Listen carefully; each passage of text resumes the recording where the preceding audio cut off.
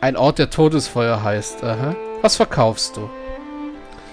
Die Ladung meines Schiffes, warm von Todesfeuer, einige persönliche Schmuckgegenstände, alles von allerfeinster Qualität. Normalerweise würde ich sie nicht verkaufen, aber ich brauche das Geld, um nach Hause zurückzukehren. Dann zeig mir deine Waren. Natürlich. Ja, das hier sind jetzt Gegenstände, teilweise die Deathfire äh, spezifisch sind. So wie zum Beispiel von Vadus Donnerbüchse. Eine ziemlich gute Donnerbüchse eigentlich. Oder eine äh, Arbalest, eine ziemlich gute. Das ist sogar eine seelengebundene Waffe mit Seelenbindung. Ja, habe ich noch nicht so viel rumexperimentiert, muss ich sagen. Da kommen wir irgendwann dazu. So wie auch die Keule des Mautaura. Das ist eine einhändige Keule. Uniform eines Bootsmanns. Uniform eines Matrosen, eines Steuermanns. Das sind verschiedene Kleidungsstücke. Gürtel des königlichen Kanoniers. Ist auch seelengebunden. Gewehrtalent Heilsporn. Und die Kapitänsmütze der Gesellschaft. Entschlossenheit, Gewandtheit. Das ist eine ziemlich gute Mütze eigentlich. Ja, gut. Aber wir können uns von dem Zeug nur nichts leisten. Wir können ihn aber mal im Hinterkopf behalten.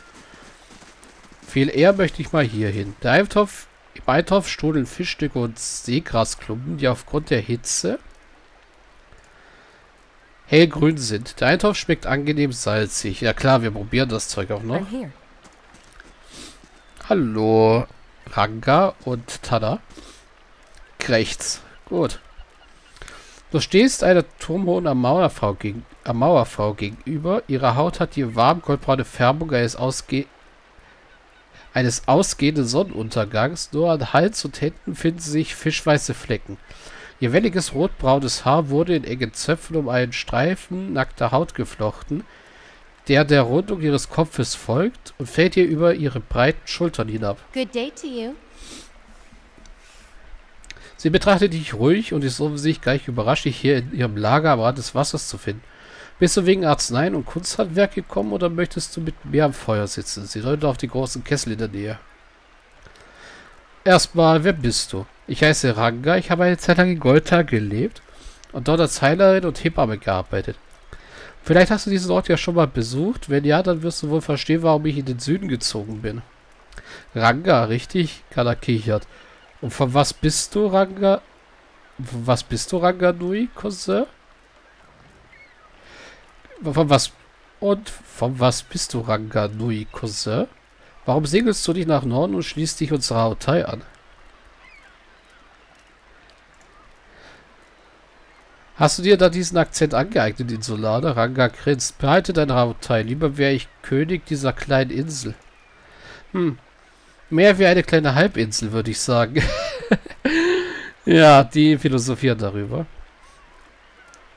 Ja, ich glaube, Ranganui war irgendein äh, König, äh, die Bezeichnung für Herrscher bei den am Mauer in Rautai. Deswegen hat er das wahrscheinlich angesprochen. Also ich kann es doch mal Ach so, kann ich nicht. Ja. In jedem Fall ist es hier an der Küste, wo ich Wasser hören kann, viel gemütlicher. Und von Zeit zu Zeit bekomme ich immer noch Besucher. Vielleicht kann ich dir ja etwas helfen. Was macht denn der Zaurip da? Wer Tada? Er hilft mir bei Sammeln von Zutaten, behält im Kessel im Auge, so Sachen halt. Er hat mir hier ziemlich viel geholfen. Der Zaurip lässt ein rassendes Schnalzen los und fletscht die Zähne, was seiner Ansicht nach einer freundlichen Gesichts ein freundlicher Gesichtsausdruck sein soll. Zeig mir mal, was du zu verkaufen hast. Gewiss, sieh dich um. Also sie verkauft hauptsächlich Tränke, Eintopf und Rieselschwamm. Also auch Blaskon, das ist alles so mehr oder weniger Drogenzeug. So, dann fragen wir sie jetzt mal. Ra Ranga grüßt dich mit stoischem Nicken. Brauchst du etwas? Aufra hat mich hierher geschickt. Sie sagt, du wirst in seinem Weg, um sicher zu gehen, dass ihr Kind kein Hohlgeburt wird. Ah, noch mehr vom Fürst Redricks verängstigter Schar. Sie nickt langsam. Mir nett von dir den ganzen Weg her, herzukommen. Die arme Aufwand muss ja völlig neben sich sein. Sicherlich hat sie dir etwas als Bezahlung mitgegeben. Egal wie viel es ist, behalte es. Münzen kann ich nicht gebrauchen. Stattdessen muss etwas anderes für mich tun. Ragan deutet ins Innere. In Nordosten gibt es einen Zauch im Stamm, der von einem ihrer Priester angeführt wird. Vor langer Zeit haben sie Tada ausgestoßen und ihre Speere liegen bis heute auf der Lauer, um seinem Leben ein Ende zu setzen. Der Xaurib stößt, einen herabhängenden, stößt mit herabhängendem Kopf ein rasselndes Krächzen aus. Eines Tages werde ich Vorräte holen gehen müssen und mein Gehilfe bei meiner Rückkehr schlagen vorfinden. Wie soll ich dann noch irgendjemandem helfen? Sie schüttelt den Kopf. Wenn du diese Plage für mich beseitigst, werde ich alles in meiner Macht Stehende für Aufrat tun. Und für dich wird auch was dabei sein. Ja, ich komme in Ordnung. Ich komme wieder, wenn der Trank fertig ist. Kann ich dir nicht einfach ein paar Kupferpfand geben, wenn der Trank fertig ist? Gut, gut. Ich glaube, so sie zu finden, wird dir nicht schwerfallen. Sie lächelt und zeigt ihre spitzen Zähne. Viel Glück. Ja, gut. Der Kompass ist ja zum Glück auch nicht ganz so groß, dass wir uns große Sorgen machen müssen. Yes. Wir haben auf jeden Fall mit Durans und Alof noch genug ähm, Zauber übrig, um uns gegen die paar Zaurips gut zu verteidigen. Schleichen wir hier erst einmal. Gucken, was wir hier drin finden. In dem Schädel. Seithaus von Vanus reisen. Während ich in Gold war, war, traf ich eine hilfreiche Frau aus dem Dürrwald. Während meines Aufenthalts in diesem schäbigen Dorf war sie eine unverzichtbare Führerin und sie erklärte sich sogar bereit, mir einen Teil des Weges nach Agnos Kompass zu begleiten. Wir treten uns in der als Magans Gabelung bekannten Wildnis, aber ich gab ihr mein Amulett, damit sie mich in guter Erinnerung behalten möge. Vielleicht werde ich ja eines Tages doch diese Land in diese Lande zurückkehren. Jo.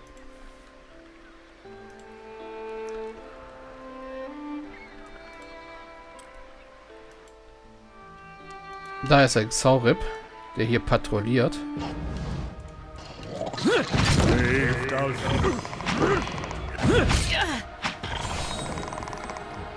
Der war zum Glück kein so großes Problem. So, von Vados Brief. Wie kann es sein, dass eine derart große Reise wie die meine hierher führt? Die Bevölkerung des Dürrweis nennt dieses er diese erbärmliche Lagune sehenswert, aber mir ist hier nur Unglück widerfahren. Die Höhen am Wasser wollte ich erkunden, aber ich fand nur heraus, dass dort Sporlinge leben. Den gerühmten Kompass ging ich mir ansehen, stolperte über ein Stück Treibholz und verlor einen Großteil meiner Briefe. Letztendlich machte ich mich auf, die Drachenschädel in der Nähe zu inspizieren. Was passierte? Ein paar kleine närrische Xaurifs bedrohten mich. Soweit ich wieder zum Atem gekommen bin, werde ich nach Goldtal zurückkehren. Zumindest scheint mir die Saurips nicht gefolgt zu sein. Ja doch, sind sie wohl. So, eine gute Arbalest. Und hier am Kompass gibt es halt Gule.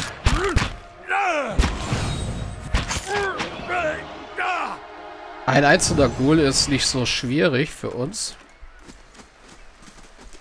Zum Glück. Aber mehrere können zum Problem werden. Wie jetzt zum Beispiel.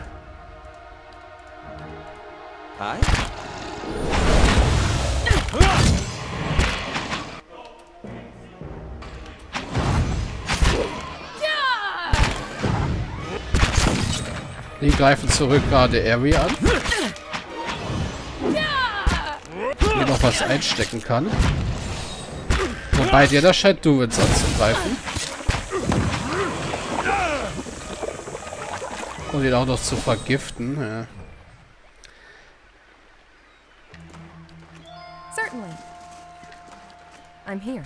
Ja, Edda ist der, der nicht mehr so gut aussieht.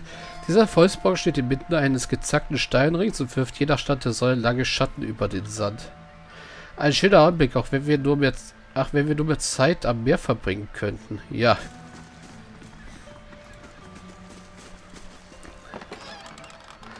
So, Trank der flinken Füße. Ist was für Kanner. Silberlusken hatten wir bereits.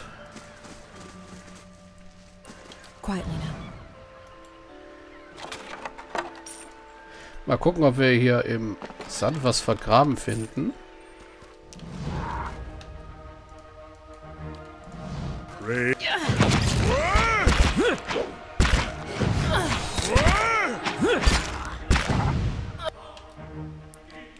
So, Alof. Mach dein Ding.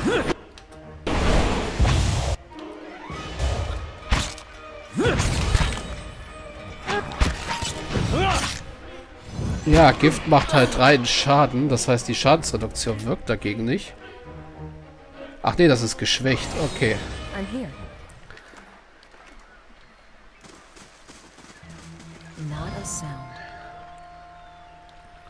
So, sonst ist hier nichts. Seite ist voll Vanus Reisen. Als ich in westlicher Richtung nach Goldteil reiste, traf ich einen anderen Reisenden von beträchtlicher Intelligenz, mit dem ich ein angenehmes Gespräch führte. Dabei kam heraus, dass der arme Kerl die scheußlichsten Stiefel trug, die man sich vorstellen kann. Ich gab ihm meinen Ersatzstiefel, damit er valianische Handwerkskunst besser zu würdigen lernt. Mögen Sie ihm gute Dienste leisten, denn er sagte, er beabsichtigte, die als schwarzer bekannte Wildnis zu durchqueren. Das kann ich mir nicht als friedlichen Ort vorstellen. I'm here. Ja, Fulvado, der muss echt teilweise ein bisschen weltfremd gewesen sein. So ein möchte gern, der meinte, er könnte einfach auf Reisen gehen. Aber das klappte dann wohl nicht sehr gut.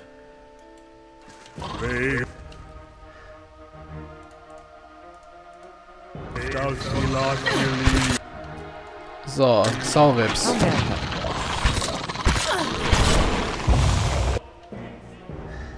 Hm.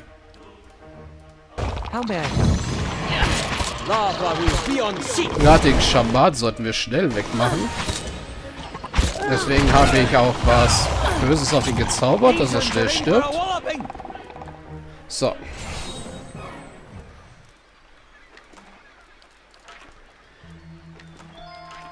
Absolutely. Damit wären die Xaurips schon mal weg. I'll see what I can find. Was sagt das Lagerfeuer?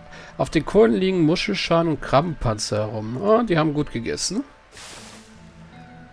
Wieder ein Angstexorzismus, ein äh, Regenerationstrank und ein paar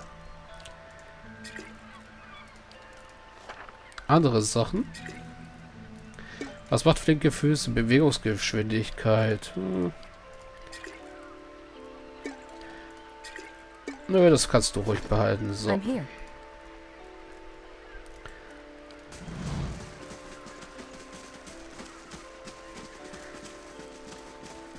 Gut, damit haben wir das erledigt. Können jetzt zu Ranga zurückkehren.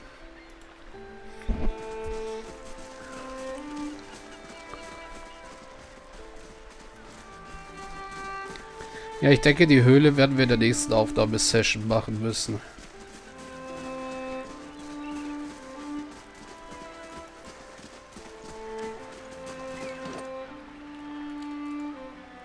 Wir haben nicht mehr lang zum Level up. Die meisten hängen jetzt hier etwas hinterher. Finde es lustig, dass Alof mehr hinterher hängt als Edda und Duels. Gut. Hello. Ist es vollbracht? Bin ich das endlose Gekrächze des Zaurips endlich los? Krächz. Nein, Tada, das macht mir gar nichts aus. Ja, sie sind alle tot.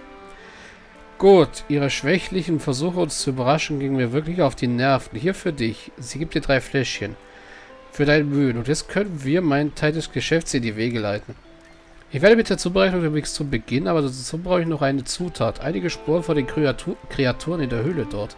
Sie deutet auf einen Ort gleich nördlich ihres kurzen Strandabschnitts. Sporlinge nennt man sie. Sie stellen ein recht gutes Material dar und ich brauche einen für die Mixtur. Wenn Ihnen noch andere in die Hände fallen, umso besser. Ja, wir könnten jetzt hier drüber diskutieren, aber wir machen es einfach für Aufra. Ich gehe sie suchen. Gut, ich werde den Rest vorbereiten, während du weg bist. Weg bist. Nach deiner Rückkehr sollte die Fertigstellung nicht mehr lange dauern. I'm here. Mhm. Gut, wir haben Tränke gekriegt. Äh, einen für dich. Einen für dich. Und das ist ein Statustrank. Minus 4. Dauer von aktiven abträ abträglichen Effekten. Minus 20 Dauer abträglicher Effekte für 30 Sekunden. Ja.